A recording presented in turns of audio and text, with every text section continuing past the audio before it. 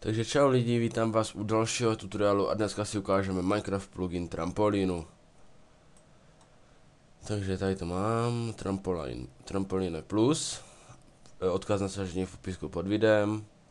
Tu máte komandy a dáme rovnou download. A download, se nebo už to stáhli mám.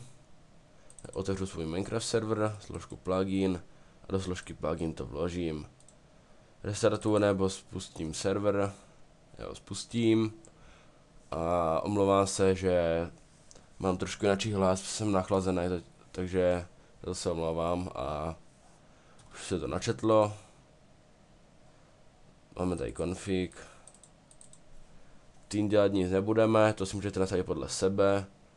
Já to nastavovat nebudu. Nechám to tak a jdem do hry. A já to stopnu a až budu ve hře, tak se ohlásím. Zatím. Takže jsem ve hře a jdeme na to. Napíšeme tps set block a id. ID bloku třeba nevím, uh, 7. Tak. Teďka vezmeme bedrock. Uděláme takovou trampolínu. A skočíme. Já by, myslím, že si můžete nastavit do jaké výšky to chcete, jako skákat. A když to chceme vypnout, tak dáme tps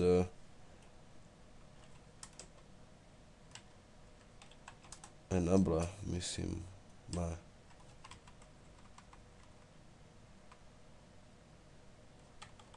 Teďka nevím.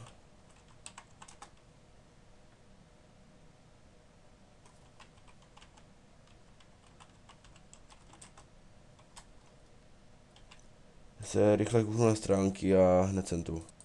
Takže jsem tu a je to lomeno tps disable. Tak už to skáče, když, když to chcete dát zpátky, dáte an e enable.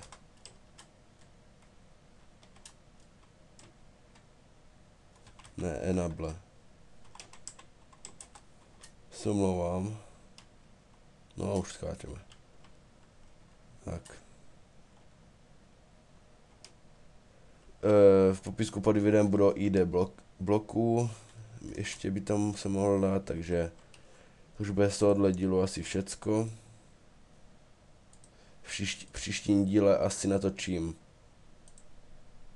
s, e, asi survival games, ale to ještě nevím, jestli půjde, takže já už se s váma loučím, takže čau.